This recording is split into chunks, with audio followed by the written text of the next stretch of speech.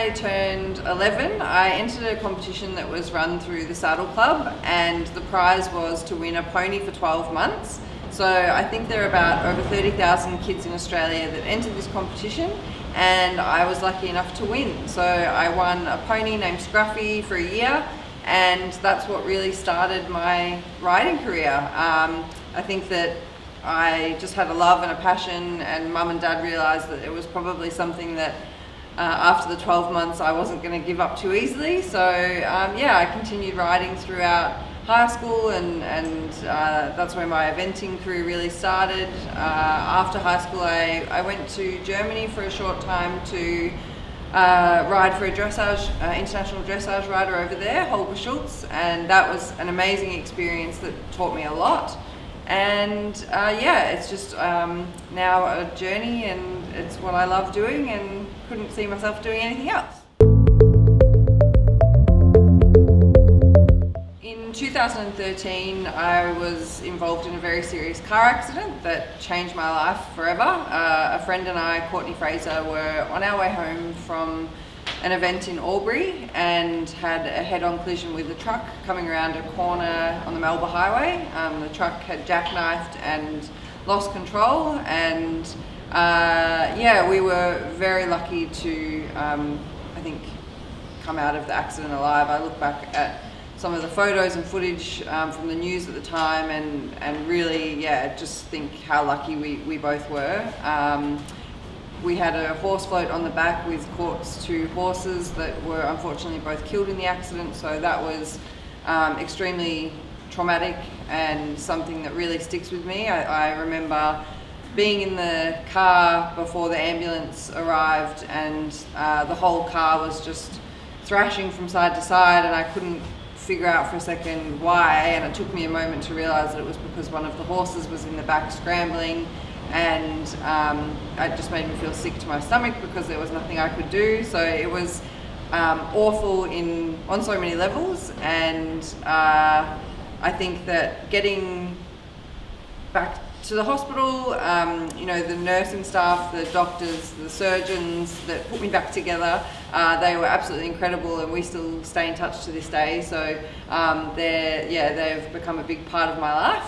And I think that after my accident, um, it was probably only two weeks or so after, I think I just got out of ICU. So I was in ICU for about 10 days and then uh, I decided to start googling the Paralympics and equestrian, para-equestrian, and it was sort of at that point that I saw the next games was going to be in Rio in 2016. And I sort of um, jokingly said to mum and dad that, oh, now I'm, I think I'm going to be a para dressage rider and I'm going to go to the Rio Paralympics in 2016. And it definitely was a, a goal at the time, but I think perhaps a bit more of a dream goal than reality. And uh, in saying that though, I knew that I was going to get back in the saddle. That wasn't a question. I knew that I was going to ride again and it was just a matter of how long until I could get back in the saddle. So my spinal surgeon was the one that put it on hold for six months uh, until six months after my accident and that's when I got the go ahead to, to get back in the saddle and with the help of some amazing people, Julia Badham, Samantha Bartlett, um, Julia from Balmoral, they got me back in the saddle on one of their um, old school horses, Rocky, and it was just the most amazing feeling. I think after being in hospital for that amount of time, uh, being confined to my wheelchair or my bed, you know, I was quite an active person before my accident, so to be able to get back in the saddle and, and feel the horse underneath me and, and have that, um, you know, normal movement again that it was such a normal feeling to me prior to my accident and to feel that again was just incredible. And I think it was probably at that point that I realized I actually felt really comfortable in the saddle I felt balanced I felt good I felt at home and it was probably at that point the goal of getting to Rio became more of a reality than just a dream. So that's when uh, family and friends sort of really got around me and supported me and, and made sure that they did everything in their power to make my dream a reality.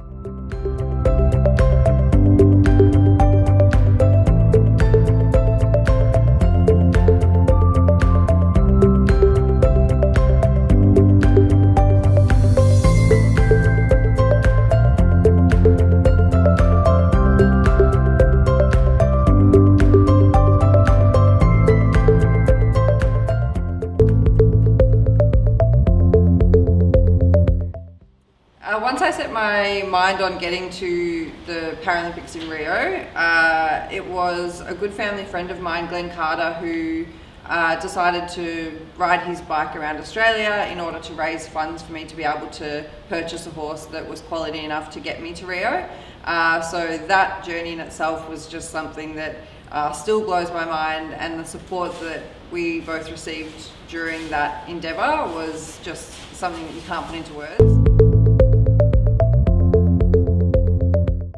So in order to find the right horse for the Paralympics, uh, I needed something very specific and it was a challenge finding the right horse. So uh, I actually did two trips internationally uh, to Germany and Holland to try and find a horse and was unsuccessful both times. Uh, one we found didn't pass a vet check and uh, you know, coming back from both of those trips empty-handed was like uh, pretty devastating and at this point we were getting quite close to the qualifying events for Rio and still didn't have a horse.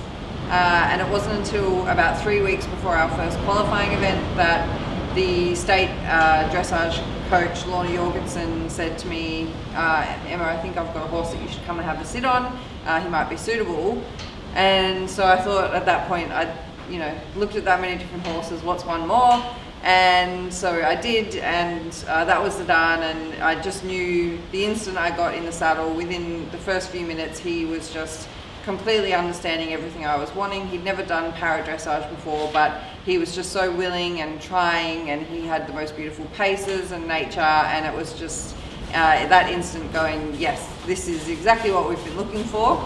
Uh, and I suppose the funny or ironic thing is that we did two trips overseas to try and find a horse, and Zidane was only 15 minutes from where I live in Australia. So, um, you know, I think again that was one of those meant to be uh, sort of things, a bit of fate stepping in and, and uh, right time, right place, right time.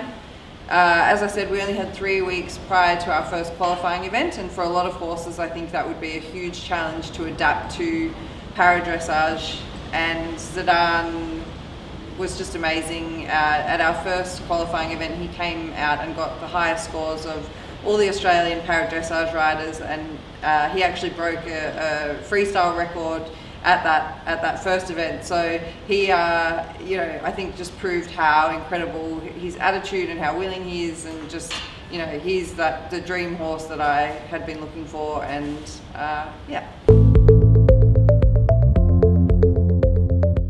So Rio was an unbelievable experience and something that I'll never forget. Um, I think that we had challenges that we sort of didn't anticipate at the games and uh, probably didn't put our best foot forward, so to speak. But uh, we learned so much. Uh, you know, I learned so much about myself, and I think that as a combination, we learned a lot together.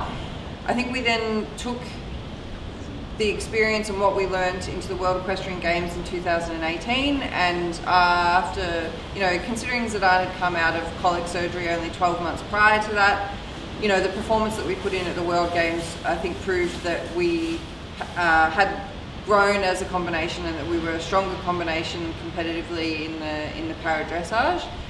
And now I think I'm at a point where we, we you know, taking that next step. We've been to, uh, together as a combination for even more years now. We've been to two international competitions on the world stage and taking what we've learned from both of those now into Tokyo and, and seeing what we can produce there. COVID has definitely made this games uh, probably even more challenging than any other.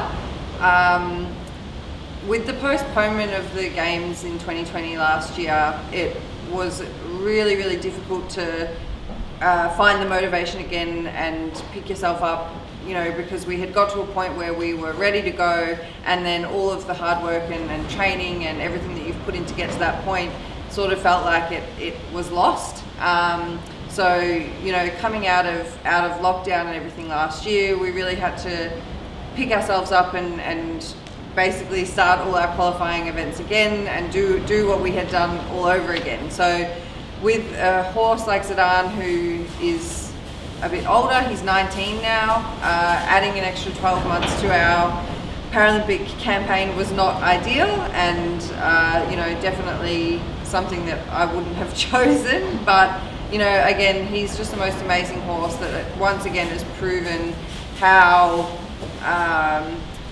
I think just how strong and determined he is as a character um, and that's sort of given me the strength to you know keep keep going and, and working towards this games with with COVID, COVID or not.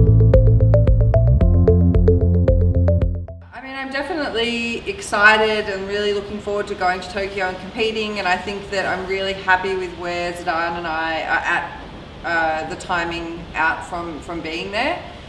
Uh, Zidane's feeling strong and fit and healthy, and um, you know, as I said, we've we've learnt so much as a combination that I'm really looking forward to putting all that together on the world stage in Tokyo.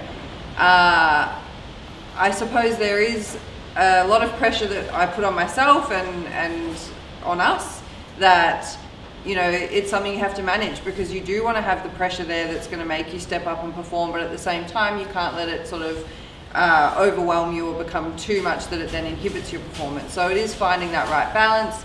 And I think I'm at a good spot in terms of you know I'm going over there to hopefully come back with a medal. That's that's the aim but at the end of the day, I'm just so excited that we were able to qualify, that we've got a spot on the team, and that we're going to represent our country uh, at our second Paralympics.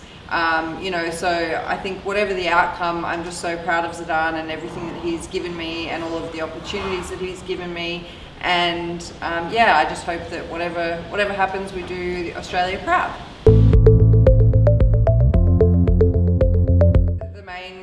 Thing that I take away from my journey or that I'd you know like to think other people would take away from my journey and what what I've achieved is that when you put your mind to something and, and you set yourself goals with the right support system and right team around you anything's possible.